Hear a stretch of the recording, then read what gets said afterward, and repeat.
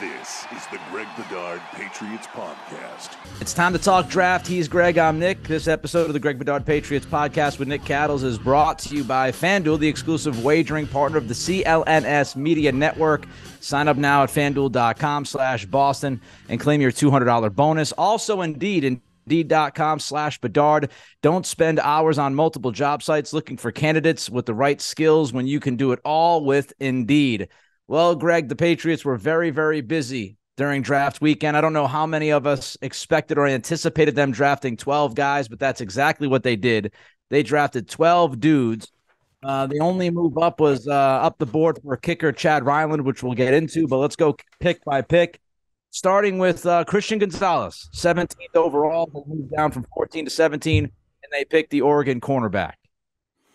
Yeah, we t- we talked about uh, that pick a lot last week. Um, you know, I I really like the pick. I mean, you know, as long as the Patriots are, you know, correct, sort of in their uh, their pre-draft analysis of a lot of the stuff we talked about with Gonzalez. I mean, it's look, the physical skills in the film are there. Um, he's he has anything you see there, what you can see. He has the potential to be a number one lockdown cornerback. Um, but a lot, of, you know, a lot of things with those guys. I mean, for example, look at Jeff Okudah with the Lions, who Matt Patricia drafted, I think, third overall, um, who just washed out with that team.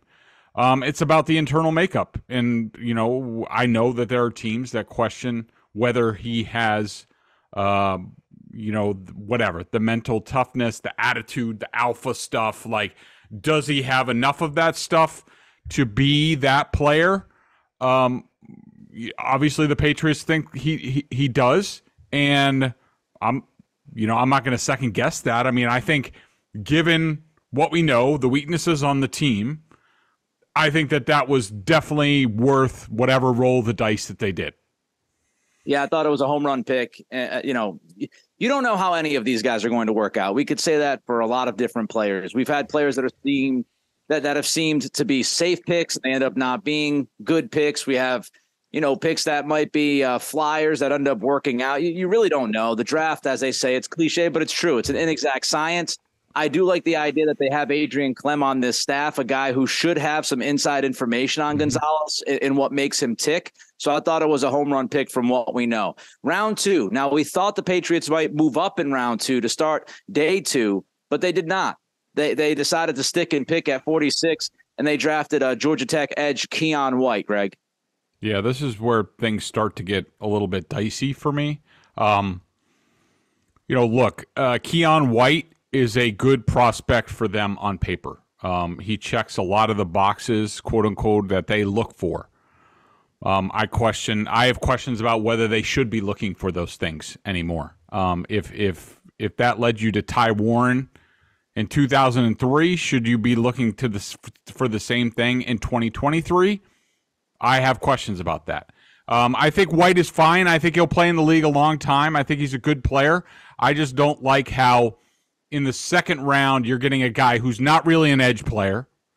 Um, he's not really an internal guy. He's a swing guy, and given what the Patriots have on their roster and how they view certain people. Like basically, Keion White's a Deatrich Wise replacement. If you could tell me today that Keion White has the ability or the chance to come in and displace Deatrich Wise and be the starter within the next year, year and a half, then I'd be like, okay, I'm on board because I've been I've been trying to upgrade that spot forever.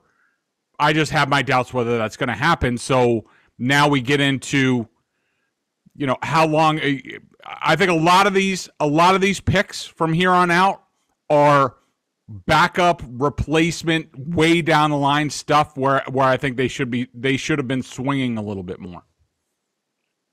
It all depends on how they see him. Um, you know, he, he has athleticism, he has power. He, he is, as you said, like if you were going to build a Madden player and his frame and all of that, Keion White fits the description. He, he was a tight end, started at Old Dominion, and then moved on to Georgia Tech. He's an older guy who they who they drafted, which was another theme in this draft. They they tend to draft guys that are a little bit older. Um, so you know how much potential? That's the question. I mean, the, the guy has been a full time defensive player for like a season. So how much potential is there? Seems to be a lot. Does he reach that? None of us know. But uh, you know, I, I thought that theoretically, Greg, this pick is a good pick. Theoretically, and will it work out again? I, I, hate to sound like I'm sitting on the fence. We just don't know. If you tell me this is a guy that can play the edge a little bit, he can move inside and get some bull rush for you. You can move him along the defensive line. Um, you know, he's he brings that athleticism. Then it's a it's a it's a fine pick by me. Yeah, but that's but that's Deatrich Wise. I mean, that's that's what Deatrich Wise does, and he's one of Belichick's favorite players. Like, and and you know, I I just don't understand the point of the pick in that he's he he's not going to play anytime soon. Like if you told me he like Deatrich Wise's job is in danger, like you know Bill Belichick wants to put you know Mac Jones's job in danger, like uh, you know, okay, but like right now, I mean, like let's just take the team for this year in sub, and and you know his best chances to get on the field in sub. You know, it's Uche, it's Judon on the edge, it's Deatrich Wise inside, and it's Christian Barmore. Like, who's coming off the field to get Keion White snaps? I just have a hard time seeing it, so that's why I like. I, think it's a luxury pick. It's a lot of these picks are if the Patriots are in the AFC Championship uh, game every year, and they're fighting just to get into the playoffs now. All right. Well, if we're going to go big picture, let's go big picture. Here's the thing. Here's what I think, okay? I think the Patriots did not love the wide receivers in this draft. I think the Patriots did not love the offensive tackles in this draft. And if you listen to all the draft pundits and analysts, whatever the hell they're worth, it was a very thin offensive tackle class. Once you got to Broderick Jones, that was pretty much it as far as guys who could really plug and play. So the Patriots didn't like Broderick Jones because he had some issues off the field. They weren't going to draft him. All the other tackles were off the board. They weren't going to move up, obviously. They had a cluster of players, whatever that is. Okay. When you look at wide receiver, again, people would tell you, unless you were going to draft a guy somewhere in the 20s, this class was pretty thin. I don't have an issue with the lotto picks they took. What about tight end? Okay, tight end. There was a whole run at the top of the second round that they missed out on, and instead they sat and took Keion White. That that would be one of my big criticisms, and I do think you gotta you gotta identify a couple tackles. They weren't all they weren't all bad in this draft. I mean, like Carter Warren is a guy later who they passed on in sort of like their fourth round, third round type of thing like that. The big criticism would be, you know, I, I, I like a lot of their picks okay? But I think they were like really safe where they should have they should have been able to identify a tackle and a tight end at least. And you throw that in the mix with Christian Gonzalez, you get a tackle, say trade up, identify somebody in the third round. Dawand Jones was out there. There's some medical questions about him. You trade up anywhere in the second round and get a tight end, and then then you do you do Christian Gonzalez, a tight end. You you get Keion White, you get Mapu or whatever, and then you get a developmental tackle, that's a knocked out of the park draft in terms of my mind. This was the Patriots playing it safe when we've seen them be aggressive for, you know, especially defensive people um, in the past. Okay, so again, we're off the rails with the plan. I'm throwing the plan out because now we're we're we're knee deep into this. Okay, we're just gonna roll with this. If you see Sidy Sow, and I know how you feel about Sow, you don't believe he's a tackle. You believe he's a backup tackle at best. I saw you tweet about it. I get it. But it doesn't matter what you think. It doesn't matter what I think.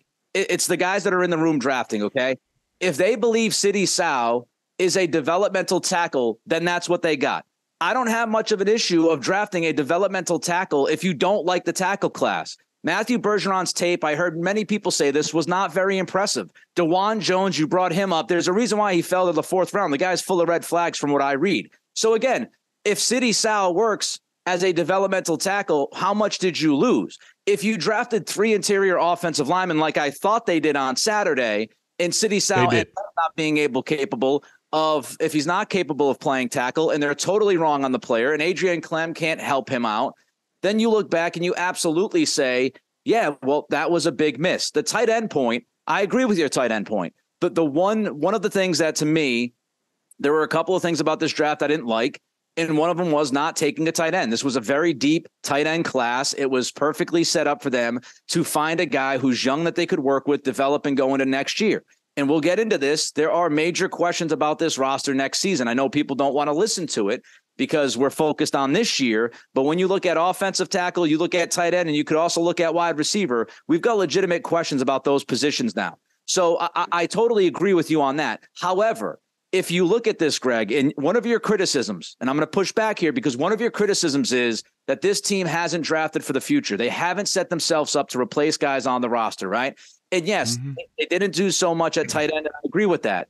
The issue is they had a lot of holes for the future. We've talked about that. The 2024 offseason, they've got a bunch of guys coming off the books. So they had a bunch of positions to look at. So if you tell me they got Christian Gonzalez, who's a bona fide cornerback one, if all things go well, okay. They got Keion White, which again, it, it depends on their evaluation of the player. You don't think he can play edge. I've heard other people say he can't play edge. There are other people that have looked at him and said, well, he's young. He's going to develop. He's got athleticism. You could play him in the edge in Belichick's system. If you believe that, then you've got Judon getting older and his contract coming up soon. You've got Uche, who's going to be an unrestricted free agent, who I think is going to make a lot of money in the offseason. So they're looking at it and saying, we need somebody to replace those guys. So if we're going to sit there and we're going to bitch about them not being ready for certain positions, and then they draft guys who are theoretically going to replace those positions down the road, you can say the same thing about Mafi replacing Onwenu if, if Onwenu is, is not going to sign in New England.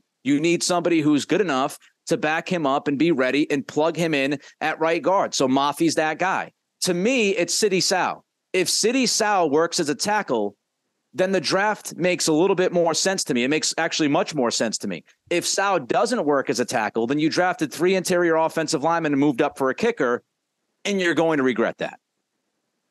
Yeah, I mean, you know, I, I, I largely agree with that, and I don't I don't have I, I don't have a problem. Um, and, and actually, you know, like we've talked about, I'm I'm very much in favor of like let's get succession plans op- uh, uh, you know, started. Um, my bigger problem has been they've whiffed on succession plans at big places. Like yes. it, offensive line is like one of the you should be able to bring a guy in and like they take these guys you know fourth, fifth, sixth round. Okay, I mean you know look at Onwenu, six round pick. You know like, like that's the ideal thing. But like you know we're staring at a roster where they're losing two wide receivers. And granted, I told you I hated the wide receiver draft and like I don't I don't mind what they did at receiver, but like you know you got two tight ends going in the final year of their deal.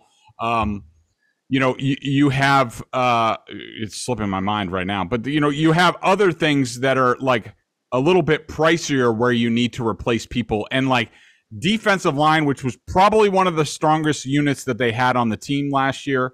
Nobody's really going anywhere, um, you know, anytime soon. I have a hard time seeing Judon going anywhere. Uche will, but I don't. I don't think this is that the the the Keion White pick was for that sort of thing. I just think that um, you know they're starting succession plans at you know places where you can do it a lot of different ways. Whereas you know the price here, at the offensive tackle is the offensive tackle and tight end are the two big ones that are glaring red needs a year from now at least at, yep. at, at the latest and they didn't do anything there and i just thought you know if they would have done that and then done a lot of the other things i would have said this this draft was awesome but they just sort of Bills just sort of chose to sit back and let the draft come to him, and he only moved up for a kicker. It's it's that's a little bit tougher for me.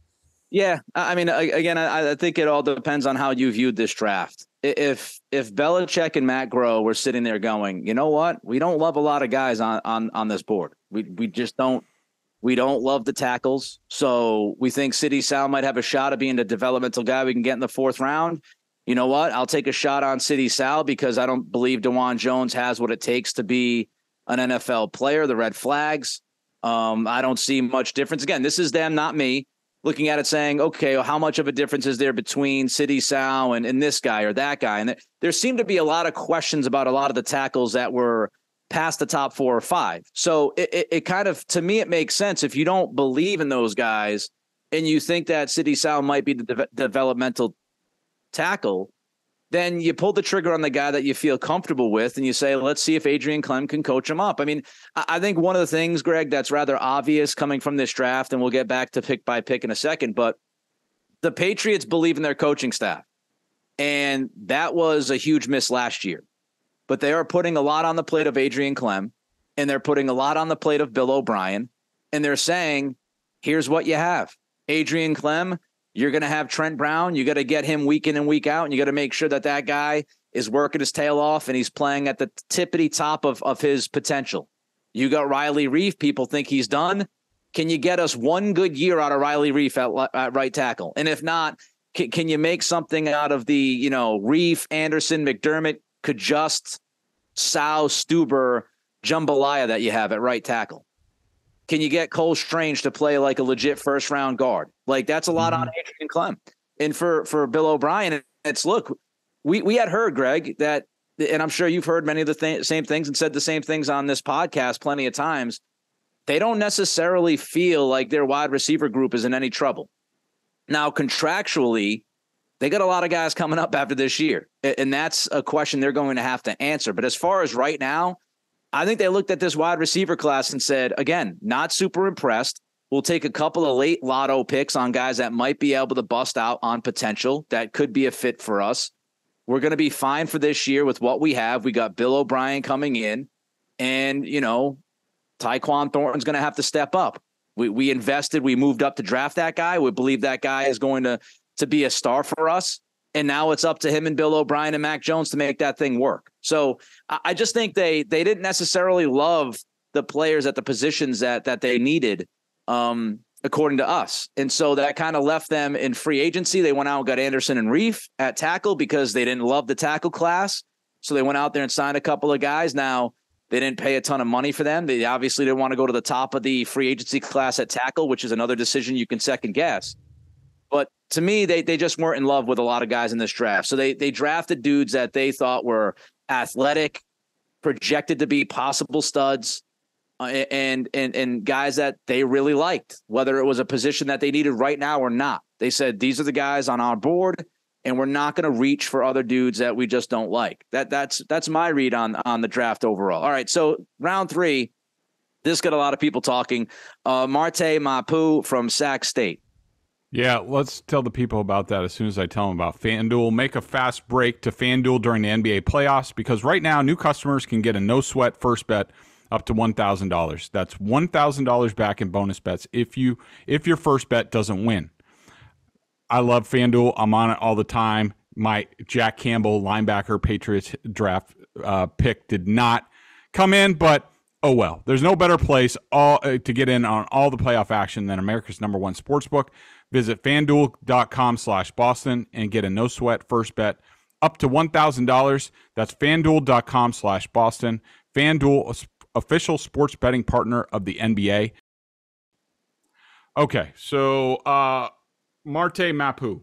Um, you know, he was on my list. I like him. He's intriguing. Um, you know, another guy sort of like Keion White that you're like, all right, well, what is he? Yeah. Um, is he a is he more of a safety? Is he more of a linebacker? If he puts on weight, can he do that? Um, definitely intriguing to me. So I I like the I like the player. I like it's a you know sort of like a future bet. Now it'll make some people uneasy because there have been at least the Patriots didn't take this guy in the second round, which they've done in past years. They've taken this taken sort of a swing, whether it's you know Ju- Joejuan Williams or Ras-I Dowling or like just some some guys with you're not really sure what they're going to be. And uh, look, I you know, I think that I think that he's a linebacker long term. Um, you know, but uh, you know, we'll have to see. I think he's got a chance to, you know, possibly be an impact guy, but I think that's you know, that's a ways down the road. Coming from Sacramento State, um, you know, we need Nick to go out there and go scout him, um, go into the film room and watch all his film and report back to us. Uh, but you know, I I think it's a ways down the road. He's a project, a little early for a project, but I don't have a huge problem, you know, with the pick and the player itself. I, I I'm intrigued by him.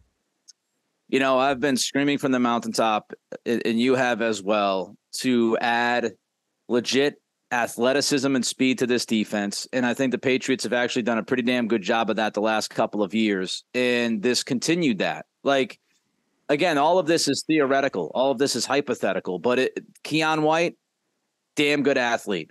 Mapu, damn good athlete. Christian Gonzalez, damn good athlete. All those guys, you know, ha- have some speed at their positions. White doesn't play as fast as you hoped he would. Maybe he'll figure that out. But they added athleticism and speed to this defense. The question I have about Mapu is, you know, he's like 220 pounds. Now, to me, I think he's the perfect kind of guy, Greg, that you and I have discussed. The the mm-hmm.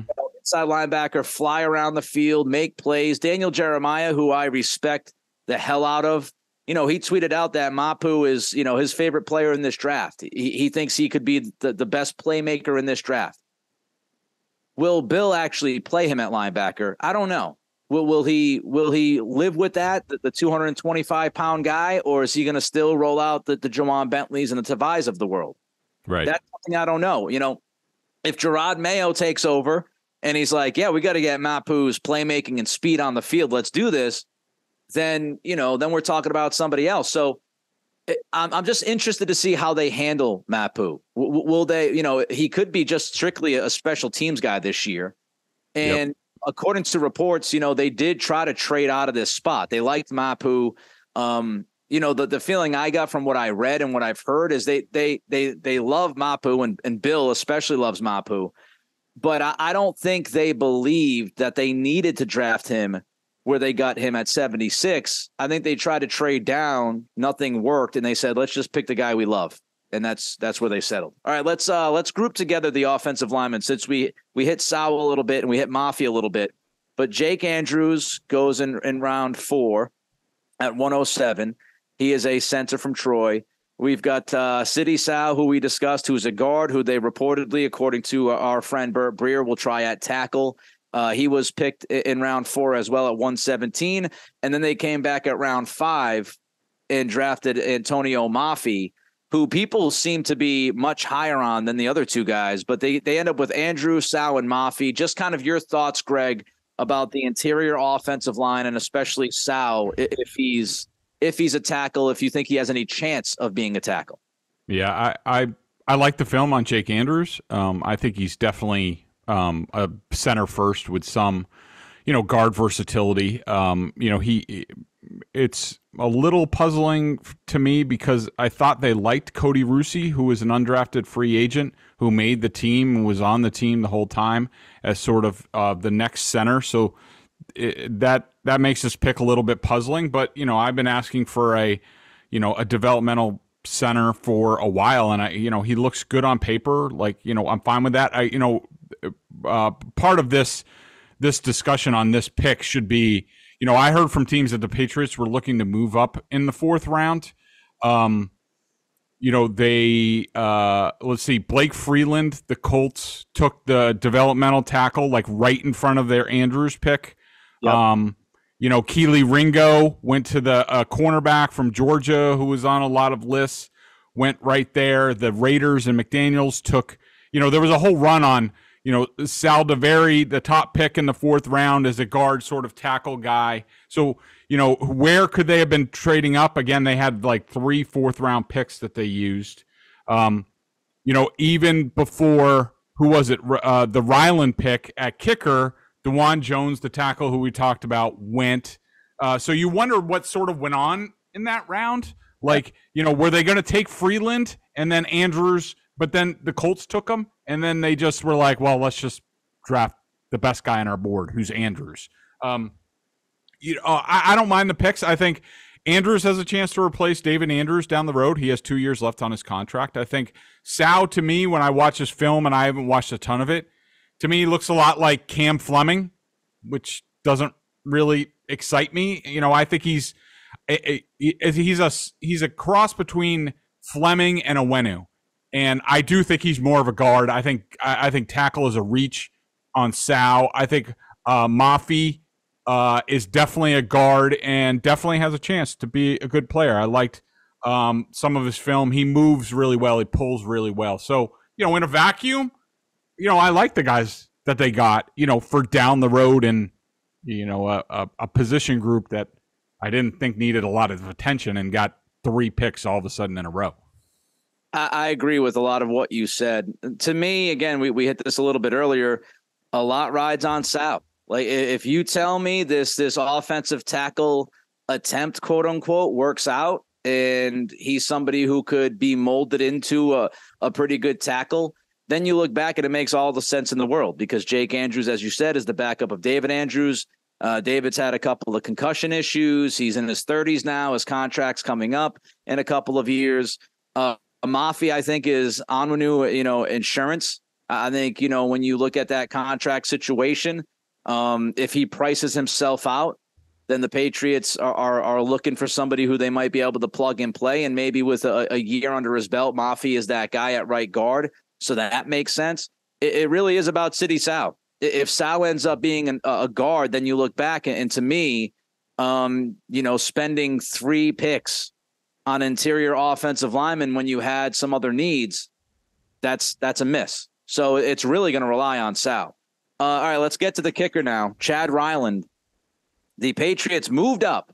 They moved up in round four and selected with the 10th pick in that round, 112th overall, Chad Ryland, Greg. Yeah, I, you know, the kickers, whatever, sort of the way I deal with them during the special teams during the season. Like, I, you know, I trust those guys on that. What I can tell you is I'm not giving them bonus points for if if they get a decent kicker and punter because they were only in this position because they screwed up on Rohrwasser and whatever happened with Jake Bailey. I mean, they, they these are self-inflicted wounds that they are that they are correcting. And I can tell you one thing, Nick, though, and I heard this Phil Perry, I heard him on his podcast say that there are people, I think, on the team who think like it's not out of the possibility that Nick Folk and Ryland are both on the roster this year. If they so that Folk would handle um, field goals and Ryland would handle kickoffs.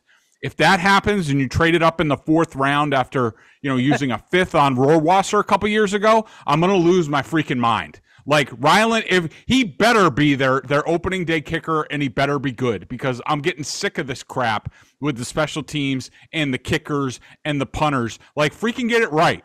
I thought this is Bill's wheelhouse, and in case and, and now we're just like throwing crap up against the wall. So Ryland better kick for them. If he does, fine. I won't mention him again.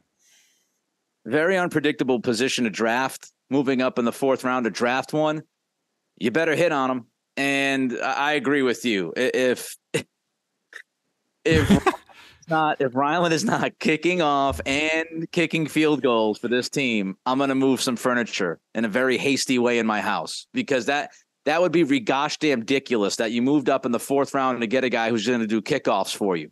Outrageous, out out freaking outrageous.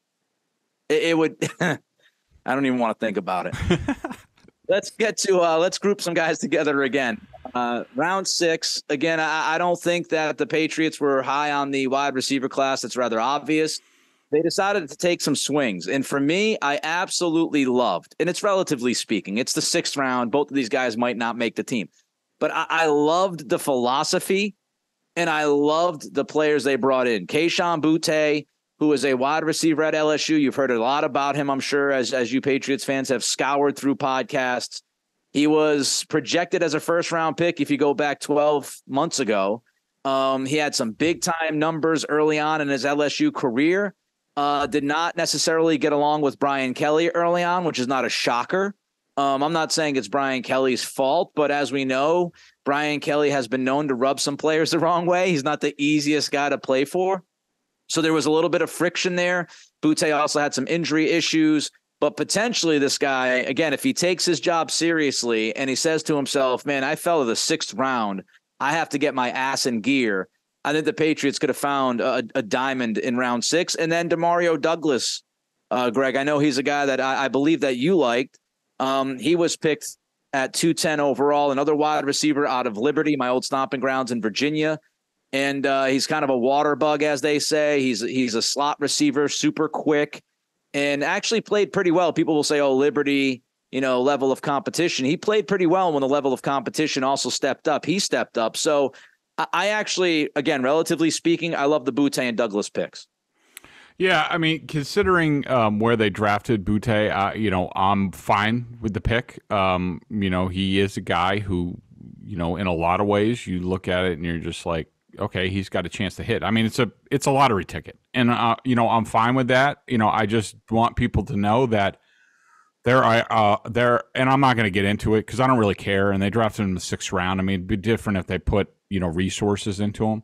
but there are a lot of red flags on this Yeah. guy. I would say that probably the majority of the NFL didn't want to touch this guy with a 10 foot pole. Now, I, I, I don't think he's um, a danger or anything like that. I just think people in the league just think that he has no chance to get us head on straight and you know whatever. And we've seen guys like this all the time. It's you know reminds me of some picks and some signings that the dolphins used to make back in the day when i picked them. But you know you take a swing and you hope that troy brown or somebody in the building can you know uh, keep him out of trouble and um, focused on what he's doing. And definitely he's got a chance to be um, he, he has an the, this young man has an opportunity to be a really good football player in this league.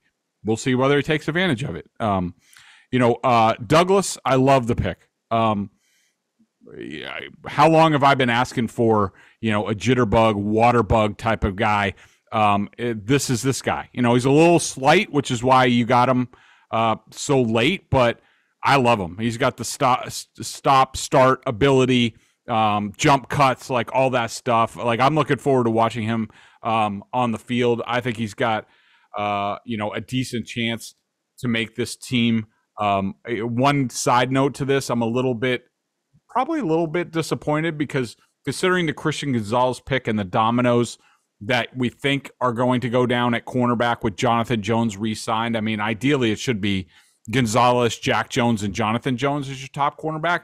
And I was kind of getting a little excited for Marcus Jones to move more full time to offense, which still could happen when it comes to the roster crunch and numbers and things like that. But uh, to me, Demario Douglas would be more of a offensive player and take Marcus Jones away from offense. They're that same type of player. And then, you know, the last couple picks, Ameer Speed and Isiah Bolden, you know, tradie guys, big guys, cornerbacks, special teams sort of guys.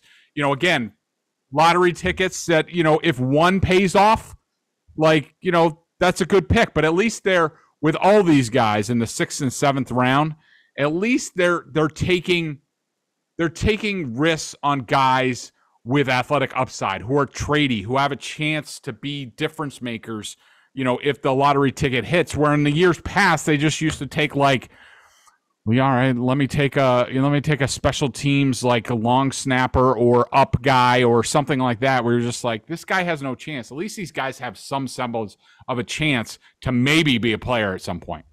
I agree with you. Uh, before we get to you and Belichick, because we got a couple more things to hit quickly, let's tell the fine people about Indeed.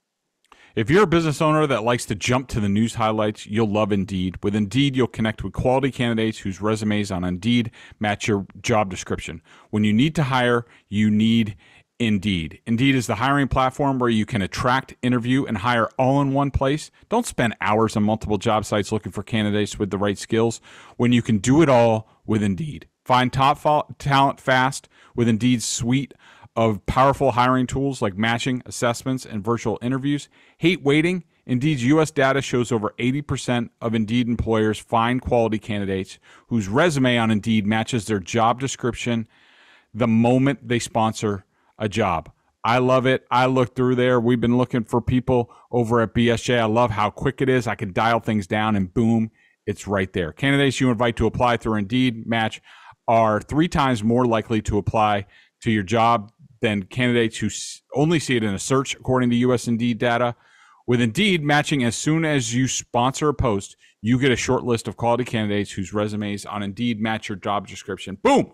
It's hiring at warp speed. Indeed does the hard hiring work for you, sponsor a job, and will match you with quality candidates whose resumes on Indeed who on Indeed fit your job description right when you post. With Indeed, you can start hiring fast. Join over 3 million businesses worldwide using Indeed to hire great talent fast. Indeed knows when you're growing your own business, you have to make every dollar count. That's why with Indeed, you'll only pay for quality applications that match your must-have job requirements. Visit Indeed.com slash Bedard to start hiring now. Just go to Indeed.com slash Bedard. Terms and conditions apply. Cost per application pricing not available for everyone. Need to hire? You need Indeed. Indeed.com. And I'll tell you, I was uh, lying down, getting ready to go to bed, and I threw on uh, Bill Belichick's post press conference. And I'm I'm listening to Bill just do usual Bill through the whole presser, not giving anybody anything. Then I heard my guy Greg, and my guy Greg popped on, and he pressed and pressed and pressed Belichick on Mac Jones. And Greg, I'm gonna tell you, I give you a lot of credit because being in the media, I, I watched this and I felt a twinge of of being uncomfortable. But you did what needed to be done. And you you you know you kept pressing Belichick on Mac Jones, whether or not he's his guy. And you went back to what Belichick had said before the season last summer about Mac. And do you feel the same way about him? And, and is is he your guy? Is is he your quarterback? I, I, thought it was uh, I thought it was really good work by you. I thought it was a great line of questioning. I thought you you somewhat cornered Bill into into uh, saying stuff that he doesn't necessarily want to say. And and Belichick for the first time in a while actually mentioned Mac by name, and he said that absolutely he feels the same way about Mac that he felt last summer. Uh, just your thoughts being in that moment and Bill's reaction.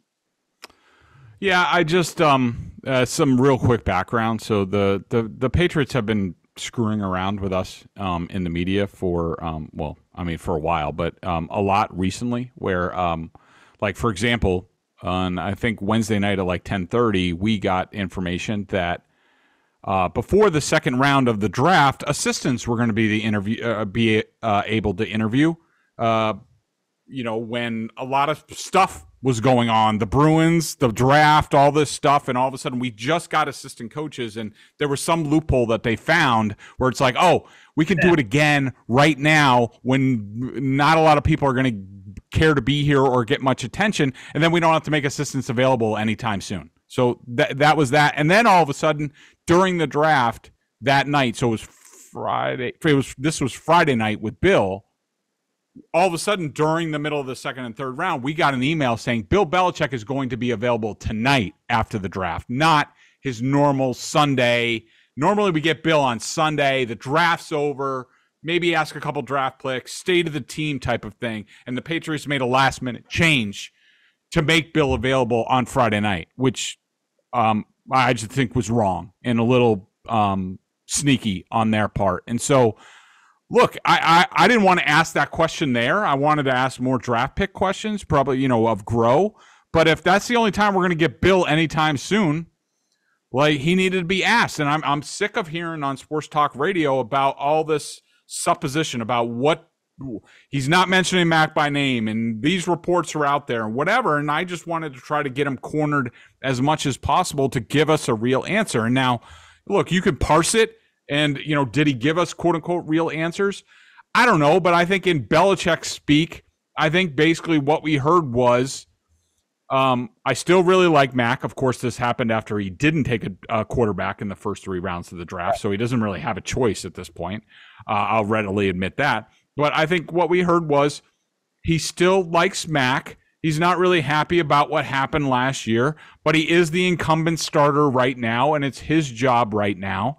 And until he loses it or Bailey Zappe or somebody else wins it, that's where they are right now. Yeah, I thought it was great stuff. Uh, I did, you know, and I agree with you. The timing wasn't perfect, but you prefaced your questions with that and said, "Hey, look, this is. I know this isn't the best timing, whatever you said, but you explained why you were asking the questions when you were asking the questions, and I thought it was a, a fair preface to kind of set everything up. So um, I agree with you. We we still have some meat left on the bone, but I got to run. Uh, yep. I think we can we can save some of this stuff for next week. We we hammered the draft today. I want to remind you that this episode of the Greg Bedard Patriots podcast with Nick Cattles brought to you by FanDuel, the exclusive wagering partner of the CLNS Media Network. You can sign up now at fanduel.com slash Boston and claim your $200 bonus. Uh, we still have to talk about the Patriots and whether or not they move the needle in the division with this offseason. Uh, we could talk about whether or not they were aggressive enough in this draft for our liking and a whole lot more.